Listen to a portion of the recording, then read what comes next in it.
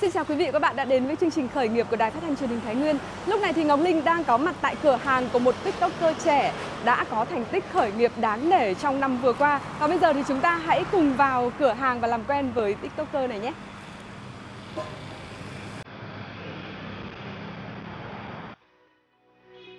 Sau khi tốt nghiệp tại trường Cao đẳng Văn hóa Nghệ thuật Việt Bắc, Lục Văn Toàn đã năm tiến để làm việc và học tập. Tuy nhiên sau 2 năm làm chuyên viên biểu diễn kiêm hướng dẫn viên du lịch tại chốn Đô Thành, dịch Covid-19 bùng phát, Toàn đã quyết định về làm việc tại Thái Nguyên.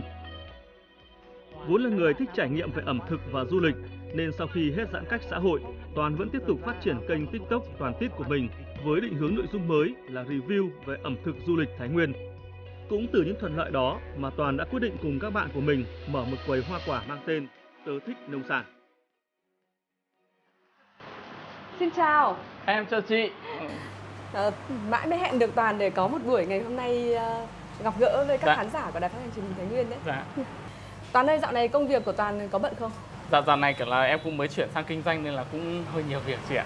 Sau khi mà chuyển từ một uh, reviewer sang lĩnh vực kinh doanh thì cái khó khăn và thuận lợi của Toàn nó đã được thể hiện ra như thế nào? Thực ra thì khó khăn thì ờ, nếu mà làm kinh doanh thì kiểu gì cũng gặp khó khăn rồi. Còn về em sẽ nói về thuận lợi trước nhé. Thì trước là mọi người thường thường sẽ biết em là một ờ, reviewer và một người quảng bá về ẩm thực và du lịch của tỉnh Thái Nguyên. Thì trong những cái quá trình mà em thực hiện các nội dung đấy ấy, thì em được ờ, đi trải nghiệm tận vườn cùng các ờ, bác cùng ờ, thu hoạch này, cùng ờ, làm rồi cùng ờ, trải nghiệm cùng người dân luôn nên là đôi khi em cũng có một số kinh nghiệm cũng như là một số nhiều gọi là thế. kinh doanh thì gọi là mối đi mối vườn tận gốc cùng các bác đấy để em chuyển sang kinh doanh cái lĩnh vực về nông sản này. Thì về khó khăn thì mới đầu thì cũng gặp nhiều khó khăn lắm. Ví dụ như về vận chuyển này, làm sao để giữ được quả tươi ngon tận vườn tới cho mọi người, với lại cách, một cách bảo quản cho nó an toàn nhất. Dạ thì trước thì đó, cũng như là có một số cơ hội cũng như em tiếp cận được với bà con này. Và đặc biệt là em có một ờ, team đồng hành cùng các bạn thân thiết và cùng chí hướng với em. Thì trước ấy là bọn em là chuyên về sỉ đó thì gần đây em mới mở cửa hàng lẻ này thôi là nên là các uh, nông sản của Thái Nguyên thì em sẽ đã xỉ qua các tỉnh ngoài rồi và ngược lại đó Bây giờ ước lượng thì uh, cái số lượng hoa quả ở trong cửa hàng của Toàn bây giờ nó lên tới bao nhiêu loại quả? Ờ, nếu mà mọi người nhìn qua qua thì chắc phải tầm đến ờ, mười mấy hai mươi quả rồi. Đó, ngoài ra thì có cả là ví dụ như nho ấy, nho thì nó tính là một loại thôi nhưng mà nho nhà em còn có ba bốn loại khác nhau ừm, giống khác nhau nữa cơ. Đó.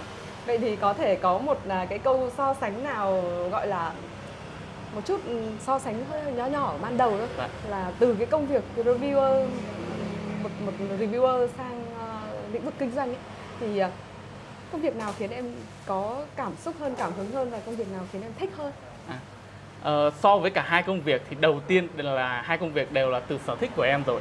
Nhưng mà tuy nhiên thì ờ, về tính về lâu về dài hay là thu lại cái lợi nhuận cũng như là một nền kinh tế ổn định hơn ấy, thì em sẽ thiên về kinh doanh hơn.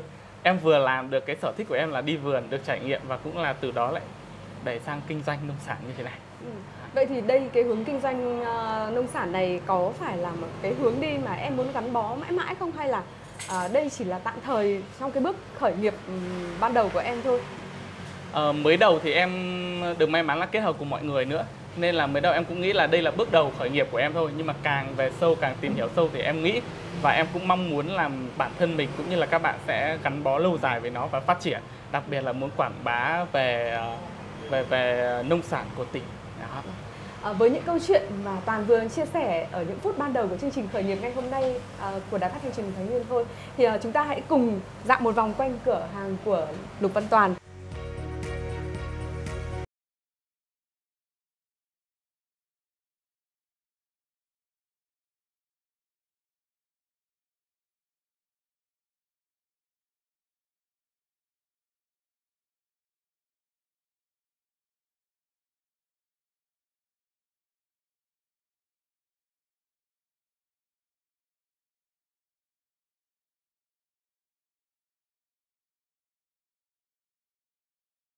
Được, Toàn đang kinh doanh theo nhiều hướng sáng tạo khác nhau. Vâng thưa quý vị và các bạn, sau khi cùng với ờ, Toàn đi thăm cửa hàng nông sản thì ờ, lúc này thì Ngọc Linh đang cùng với Toàn ờ, thực hiện công việc đó là làm những à, set hoa quả với giá chỉ 29.000 đồng thôi.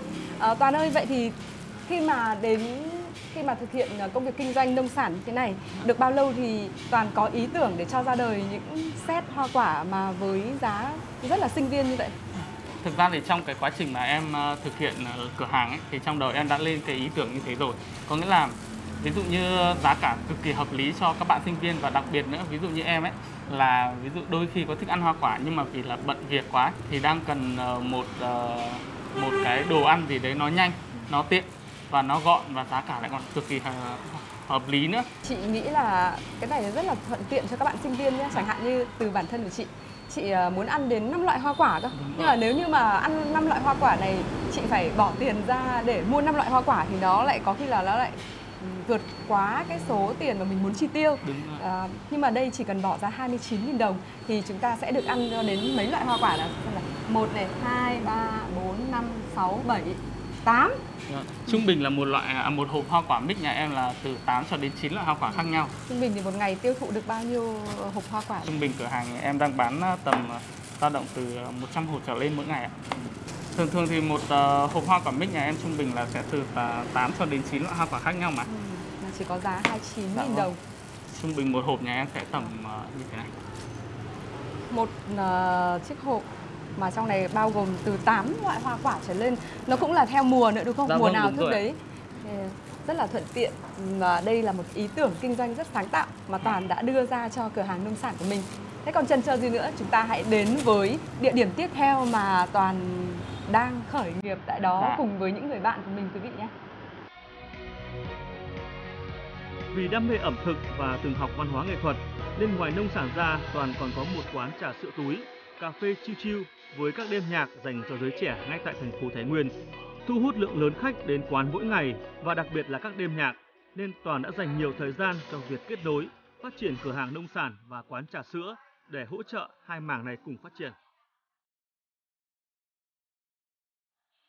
Trong một à, bộ trang phục rất là mới thì vừa rồi à, trong video clip thật ngắn thì chúng tôi đã giới thiệu đến quý vị và các bạn à, một công việc rất khác của Toàn trong vai trò là một bartender. Bởi vì ờ, khi toàn ờ, từ ờ, quầy nông sản ra đến quán nước này dạ. quán này của bạn của toàn gọi là quán Ờ, nó mang một thương hiệu từ trước cũng của em nó gắn liền với những các tập phát sóng review và trải nghiệm.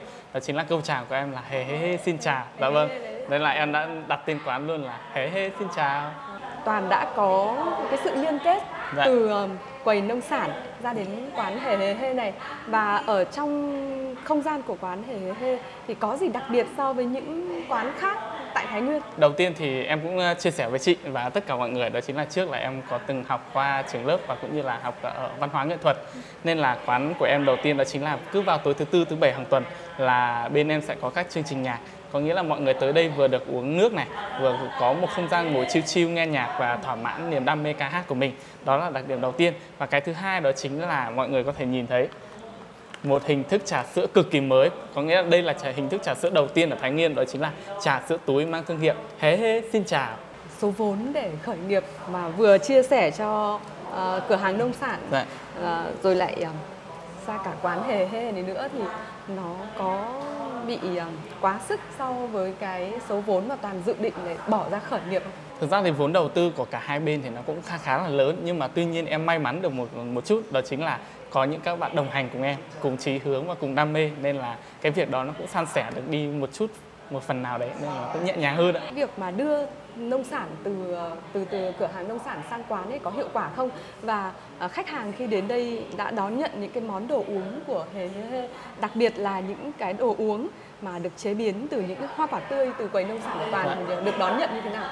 Mọi người cũng rất là thích và có nghĩa là nó đảm bảo được và em tự tin đảm bảo với mọi người đó chính là hoa quả tươi từ bên nông sản nhà tớ thích nông sản qua đến hè hê xin chào thời lượng của chương trình thì cũng không có thể dành nhiều để nói hết về tỉ mỉ từng công việc của dạ. toàn thế nhưng chắc chắn là trong khoảng thời gian của chương trình ờ, khởi nghiệp ngày hôm nay của đài phát thanh truyền hình thái nguyên thì đã cho khán giả ờ, được cái nhìn toàn cảnh về việc ờ, toàn kinh doanh có những cửa hàng nông sản này sau đó là chuỗi liên kết để có những quán đồ uống đồ giải khát như thế này dạ. để có thể trực tiếp tiêu thụ những sản phẩm chính những sản phẩm từ cửa hàng nông sản của mình dạ. và à, thay mặt ekip thực hiện chương trình xin được chúc toàn sẽ có những bước khởi nghiệp thật thành công và sẽ khẳng định được à, thương hiệu khẳng định tên tuổi của mình trong lĩnh vực kinh doanh trong một lĩnh vực rất là mới Dạ. à, và bây giờ thì chúng ta hãy cùng chào các khán giả của đài phát thanh truyền hình Thái Nguyên Những người trẻ năng động như Lục Văn Toàn không chỉ muốn khởi nghiệp để phát triển bản thân mà còn luôn hướng tới những giá trị của cả cộng đồng. Khi những ngày tháng 8 vừa qua, Toàn cùng nhóm TikToker Thái Nguyên đã tham gia phiên chợ nông sản livestream bán na và các loại nông sản khác tại Võ Nhai. Chắc hẳn trên mỗi chặng đường Toàn đã qua đều để lại những trải nghiệm đáng trân trọng để làm hành trang cho mình trên hành trình khởi nghiệp ngày hôm nay.